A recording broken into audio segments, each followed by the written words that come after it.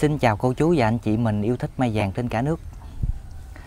Cũng có nhiều cô chú anh chị mình mới bắt đầu chơi cây á Mình trồng cây mai phôi giống vậy nè. Cái thời gian đầu nó kéo nhựa Nó lên tược rất là sung rất là tốt luôn. Nhưng mà không biết sau tầm khoảng à, 6 tháng, 8 tháng cho tới một năm trở về sau á Tự nhiên cái cây phôi của mình nó xuống sức từ từ. Rồi tệ hơn có nhiều cây nó chết luôn nữa thì à, trong video ngày hôm nay em cũng chia sẻ với cô chú anh chị về cái cách trồng mai phôi của vườn em á. Để nó đạt được cái tỷ lệ sống cao nhất có thể nè cái tuổi thọ của cây phôi mình cũng cực kỳ là bền luôn. Thiệt sự cái việc mình trồng à, cây mai á nó cũng giống như là mình xây nhà vậy đó. Cô chú anh chị mình muốn xây được một cái nhà nó thiệt là lớn thiệt là đẹp thì bắt buộc là cái dàn chân dàn móng ở dưới nó phải vững chắc mới được mình trồng cây mai cũng vậy luôn. Anh chị muốn cây mai mình có được cái phơm tàn thiệt là lớn, thiệt là đẹp nè, thì bắt buộc là cái dàn rễ của nó phải mạnh, cái dàn rễ phải khỏe mới được. Thì cái việc mình chăm sóc cây mai á, quan trọng nhất là cái khâu trồng mai phôi này nè. Nó quyết định sau này cây phôi của mình nó có phát triển được tốt hay không, cái tuổi thọ của cây mai này được bao lâu. Quan trọng nhất là cái khâu trồng mai phôi này nè thì à, trồng mai phôi cái đầu tiên nhất là mình phải phá bỏ cái bầu đất nè. Mình bỏ đi cái lớp đất cũ của nó để thêm vô cái chất trồng mới. Cũng có nhiều cô chú anh chị mình thắc mắc á trồng mai phôi như vậy thì mình có phá bỏ bầu đất hay không? Mình chừa lại trong cái phần lõi của cây mai tầm khoảng bao nhiêu phần trăm đất là được? Cũng có nhiều cô chú anh chị mình trồng mai phôi giống vậy nè mà mình không có chịu phá bỏ bầu đất. Thứ nhất nếu như anh chị tưới nước nhiều quá cái cục đất này nó sẽ bị lèn thành sình mà cái bộ rễ cây mai nó tiếp xúc với sình lâu ngày vài tháng á nó sẽ bị úng nó bị thúi nó hư cái dàn rễ nè. Mà cái bộ rễ nó hư rồi thì coi như cây mai nó cũng hư luôn. Còn nếu như cô chú anh chị mình tưới không có đủ nước á thì cái cục đất ở trong phần lõi này nè nó sẽ bị khô nó chai cái cục đất mà nó khô rồi cây mai nó cũng bị khô cốt rồi nó cũng chết luôn. Cho nên ở vườn em thì à, trồng cây mai phôi đặc biệt nhất là những cây mà sau này em xác định em ghép á thì em bỏ gần như là 100% đất luôn. Chỉ có những cây mà nó thuộc vùng đất xốp nè cái đất nó quá là màu mỡ đi thì em chừa lại tầm khoảng 10% cho tới 20% đất ở trong cái lõi thôi à chứ em không có chừa nhiều còn như à, cây mai mà hiện tại cô chú anh chị mình thấy nè cái đất này thì nó cũng thuộc dạng à, đất sét anh chị. Những cái loại đất sét như vậy thì thường là em phá bỏ 100% đất luôn em không có chừa lại. Với lại cây này thì à, nó cũng thuộc gieo cái phơm bonsai lùng lực á. Em trồng cũng ép chậu nè em xây cái phơm tàn cho nó cũng gọn gọn thôi à gọn gọn tầm phán này thôi anh chị. Cho nên em phá bỏ 100% đất luôn nha để à, mình trồng cái chất trồng mới á, mình cung cấp phân thuốc, nó hấp thu tốt hơn, nó phát triển cũng được tốt hơn nữa. Rồi, tiếp theo là về cái phần chất trồng. Cũng có nhiều cô chú, anh chị mình trồng mai phôi giống vậy nè.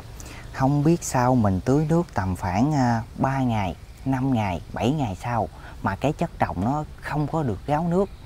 Cô chú, anh chị mình nghĩ thử nha. Cái cây mai giống vậy nè, mà bộ rễ của nó tiếp xúc với nước á, lâu ngày, vài tháng thì bộ rễ này nó cũng bị úng, nó bị thúi cái bộ rễ cây mai hư thì coi như cây mai nó cũng tiêu luôn. Cho nên cái chất trồng của mình chỉ cần đảm bảo hai yếu tố thôi anh chị, giữ ẩm tốt và thoát nước tốt. Như em ở đây nha, chất trồng thì em chỉ trộn có trấu với lại sơ dừa thôi à.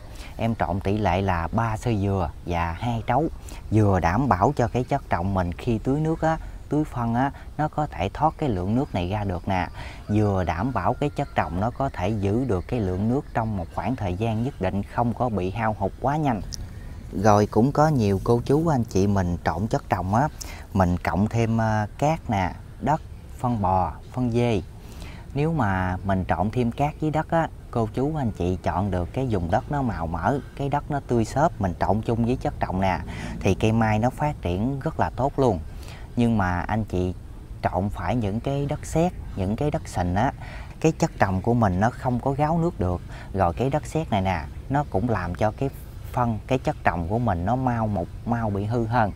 Cái chất trồng nó hư rồi thì cây mai nó đâu có ăn được đâu, nó không ăn được thì dĩ nhiên là nó phát triển không có tốt rồi. Mà đặc biệt nhất anh chị, là phân bò. Cái này là nó cực kỳ kỹ với cây mai luôn. Thứ nhất, cái phân bò, cái tính chất nó nóng nè thứ hai, phân bò anh chị trồng lâu ngày vài tháng á, nó sinh ra con sùng ở dưới á. Cây mai mình phát triển nó không có tốt đâu. Nếu mà được, anh chị có thể cộng thêm phân dê hoặc là phân dơi thì cây mai nó chịu hơn, nó hấp thu, nó phát triển được tốt hơn. Còn đặc biệt nhất là phân bò, cây mai nó không có chịu. Rồi cái nguyên nhân thứ ba, làm cho cây phôi mình sau khi trồng một thời gian nó bị suy, bị yếu nè. Đó là do cái chậu mình trồng thiệt sự cái này là do tâm lý của anh chị mình thôi. Tâm lý của anh chị cưng cây quá. Mình nghĩ là trồng cái chậu cho nó hơi lớn một chút, cho nó có nhiều chất trồng. Cây mai mình nó đủ sức thì nó phát triển sẽ tốt hơn. Nhiều khi cô chú anh chị mình xem trên mạng nè, hoặc là mình đi tham quan những cái nhà vườn lớn á, mình thấy sao mà người ta trồng cây hay quá. Cây nào cũng tốt hết, cây nào cũng khỏe hết. Chắc là người ta xài phân thuốc nhiều dữ lắm nhưng mà cô chú anh chị mình không có để ý. Người ta trồng cái cây phôi với lại cái chậu á, nó rất là cân đối, rất là vừa luôn. Cái chậu nó vừa đủ dinh dưỡng cho bộ rễ cây mai ăn thôi à. Nó không có dư mà cũng không có thiếu. Nếu mà anh chị trồng cây mai phôi giống vậy nè, mình trồng ở một cái chậu nó lớn hơn. Thứ nhất là về mặt thẩm mỹ á cái phần cây với lại cái chậu, nó không có cân đối, mình thấy cũng không có đẹp luôn. Thứ hai, cái bộ rễ của cây mai nó ăn chất trồng rất là chậm, mà mình trồng trong một cái khoảng thời gian ngắn á, cái bộ rễ nó ăn không hết cái lớp chất trồng này. Cái chất trồng mình sẽ bị hư, bị bã, bị mục nè, rồi nó còn sinh ra nấm bệnh ở dưới nữa, thì làm sao mà cây mai nó tốt được? Ví dụ như cây mai mà cô chú anh chị mình đang thấy nha, cây này thì nó cũng tầm khoảng 25 26 hoành á. Em chơi cho nó theo cái form bonsai lùng lực nè. Đó, em cắt đầu đinh, em chơi theo cái form bonsai lùng lực. Chừng nữa em ghép cho nó tầm khoảng à, 3 bo. Em lợp cái form tàn tầm khoảng này nè. Đó. Thì đối với cái cây tầm khoảng này, em vô cho nó cái chậu có à, cái chậu tầm khoảng này thôi nè. Thì ở đây anh chị cũng thấy á cái phần chậu với lại cái cây, nó rất là cân đối, nó rất là vừa luôn. Thứ nhất là về mặt thẩm mỹ nè, cái chậu với cái cây nó cân đối mình thấy rất là đẹp nè. Thứ hai, cái chất trồng mà mình cung cấp cho nó đó, cái phần cây nó vừa đủ ăn luôn, nó không có dư mà cũng không có thiếu, đảm bảo đầy đủ chất dinh dưỡng, cây nó phát triển cực kỳ là tốt nè. Còn nếu như cây mai này, em trồng cho nó một cái chậu lớn hơn. Đây, anh chị mình thấy nè. Thứ nhất là về mặt thẩm mỹ á cái chậu với lại cái cây nó không có cân đối, mình nhìn vô thấy nó không có được đẹp nè. Nếu mà cây mai anh chị trồng ở một cái chậu phù hợp với lại cây mai mình trồng ở cái chậu hơi lớn á, cái thời gian đầu tầm khoảng 3 tháng cho tới 4 tháng đầu tiên, hai cây mai này nó đều sinh trưởng, nó đều phát triển cái sức mạnh như nhau hết nhưng mà bắt đầu tầm khoảng 8 tháng 10 tháng cho tới một năm trở về sau, bắt đầu cái à, cây mai mình trồng ở chậu lớn nè, nó ăn không hết chất trồng, thì cái chất trồng ở cái lớp đáy á, bắt đầu nó bị hư, nó bị bã, nó một lần lần rồi. Cái chất trồng ở dưới đáy á, nó bị hư, bị bã. Nhiều khi cô chú anh chị mình thay chất trồng cho cây mai nha, mình nhổ lên, anh chị thấy cái lớp chất trồng dưới đáy nó như sình vậy đó, nó, cái chất trồng nó hư rất là nhiều luôn rồi nó còn à, sinh ra nấm nè. Chất trồng mình bị hư bị bã rồi khi mà anh chị tưới phân tưới nước mình cung cấp chất dinh dưỡng cho nó đó cây mai nó cũng không có hấp thu tốt được đâu. Còn trong khi cây mai mà anh chị trồng ở một cái chậu phù hợp giống như vậy nè ít nhất tầm khoảng một năm cho tới một năm rưỡi cái bộ rễ nó mới ăn kín được cái chậu này. Còn à, anh chị trồng tầm khoảng 4 tháng cho tới 6 tháng mình nhổ lên nha anh chị thấy cái bộ rễ nó cũng ăn cứng bầu nè, nó cũng bó cứng ngắt cái bầu như là cái bánh bò luôn. Nhưng mà thiệt sự cái bộ rễ nó chỉ mới ăn cứng cái vòng ngoài thôi anh chị. Còn cái phần lỗ giữa bên trong á, nó chưa có ăn gì tên á. Bản chất của cây mai vàng, cây mai ghép, nó ăn chất trồng rất là chậm luôn. Mà đặc biệt là nó sẽ ăn cứng cái vòng ngoài rồi, thì nó mới ăn tới cái lỗi bên trong.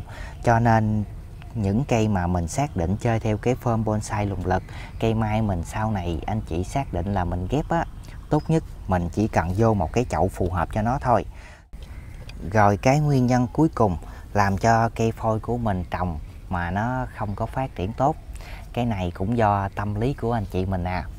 Do tâm lý của anh chị quá là cưng cây đi, có nhiều anh chị trồng mai phôi giống như vậy nha. Mình mới vừa mua cây phôi về, phá bầu đất ra anh chị à, ngâm kích rễ ngâm dưỡng rễ mình ngâm Gidomin Gon cộng với Atonit hoặc là Gidomin cộng với lại N3M mình ngâm tầm khoảng 30 phút cho tới một tiếng á. Anh chị vô chậu trồng xong giống như vậy rồi. Anh chị tiếp tục tưới dưỡng rễ kích rễ mình tiếp tục sử dụng những loại kích thích sinh trưởng. Nhưng mà thiệt sự anh chị, cây phôi của mình giống như vậy nha.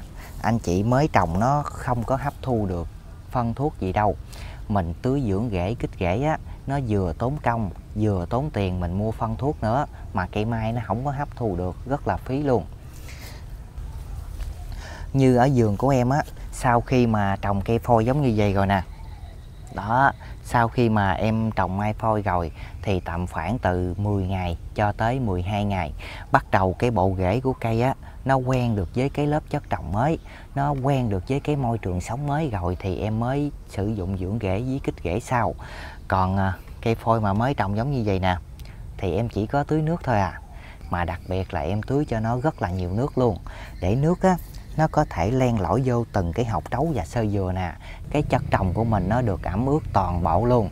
Thì sau này cái bộ rễ cây mai nó ra nó phát triển sẽ được tốt hơn. Rồi à, sau khi mà trồng cây phôi được tầm khoảng 10 ngày cho tới 12 ngày bắt đầu nó ổn định rồi. Nó quen được với cái môi trường sống rồi. Cái bộ rễ nó thích nghi được với cái chất trồng là trấu với sơ dừa rồi nè. Thì lúc này em mới sử dụng dưỡng rễ với lại kích rễ cái giai đoạn mà sau khi vô chậu 10 ngày á em hay sử dụng NPM cộng với lại à, cơm cát nó vừa giúp cho cây mai phát triển tốt cái bộ rễ nè mà cơm cát là cái chất kích thích sinh trưởng á giúp cho cây phôi nó lên chồi non lên tược non cũng rất là tốt nữa.